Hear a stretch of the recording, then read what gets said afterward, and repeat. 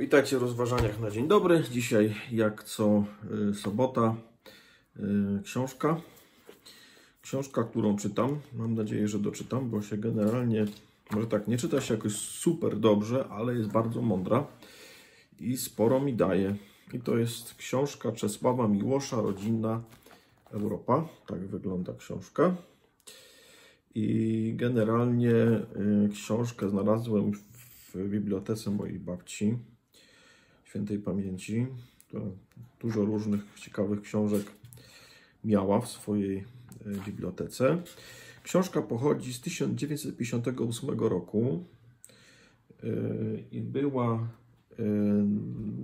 była wydana w Paryżu, czyli Miłosz był już wtedy na, na emigracji, więc mógł pisać mógł pisać co chciał. Nie było już e, żadnej, e,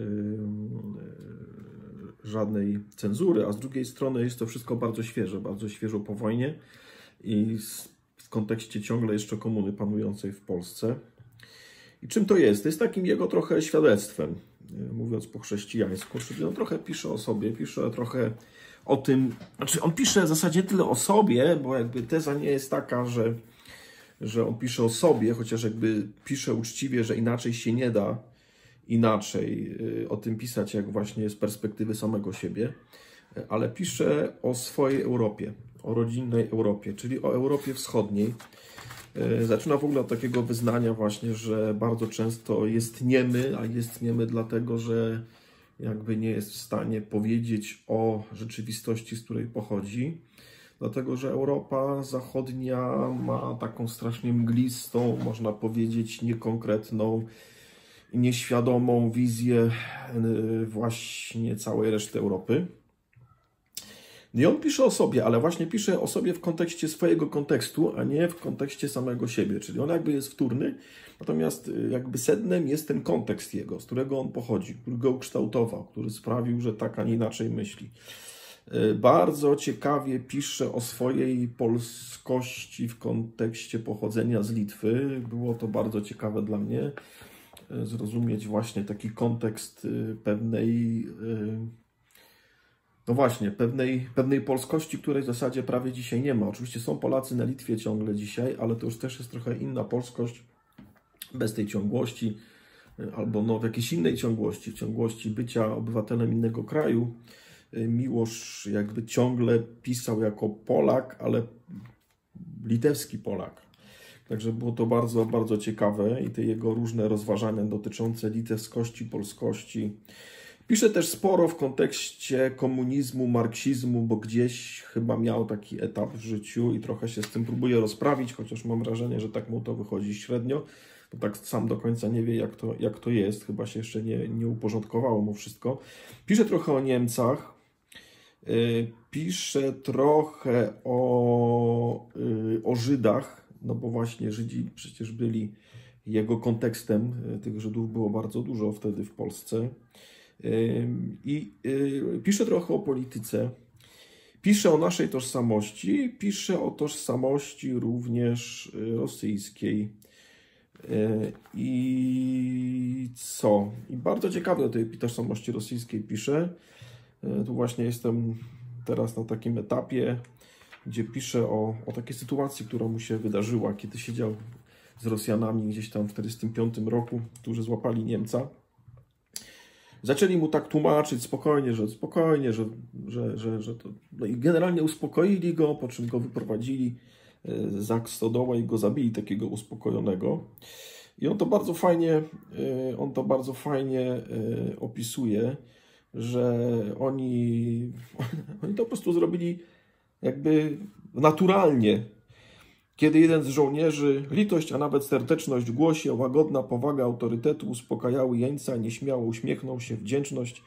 Kiedy jeden z żołnierzy zebrał się sennie ze swojej ławy, choć nie padł żaden rozkaz, wziął go z izby, powrócili w poprzednią apatię, odpoczynek ludzi fizycznie strudzonych. Po upływie paru minut konwojent wrócił, wlokąc ze sobą biały kożuch, Rzucił go obok swego worka, siat i skręcał papierosa. We wciąganiu dymu, w pluciu na podłogę zawarta była ich melancholijna refleksja o kruchości życia ludzkiego. Od los. No i on dalej to sobie rozwija, jak to jest z tymi, e, z tymi Rosjanami. Odgrywając komedię bardziej przed samymi sobą niż przed jeńcem, żołnierze składali daninę temu, co powinno być, wiedząc zarazem, że po wręcz przeciwnych torach porusza się rzeczywistość. Kiedy przetnie się więź pomiędzy intencją i czynem, szlachetne słowa, przyjacielskie uściski, łzy szczerych wyznań, cała urocza wylewność rosyjska są wycieczką w krainę wolną od przymusu ziemskich praw, krainę, gdzie człowiek człowiekowi jest bratem. Głębia przeżyć autentyczna, przyzwolenie dane sobie pełne, choć równocześnie jakaś warstwa w nas nie łudzi się, że to tylko przyzwolenie.